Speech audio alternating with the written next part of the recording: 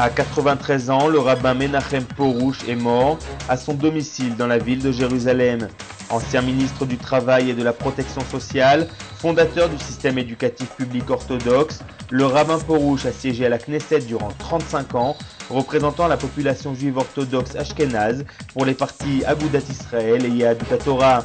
Des milliers de personnes ont assisté à son enterrement, dont de nombreux membres de la Knesset, des ministres, ainsi que le président de l'État, Shimon Peres.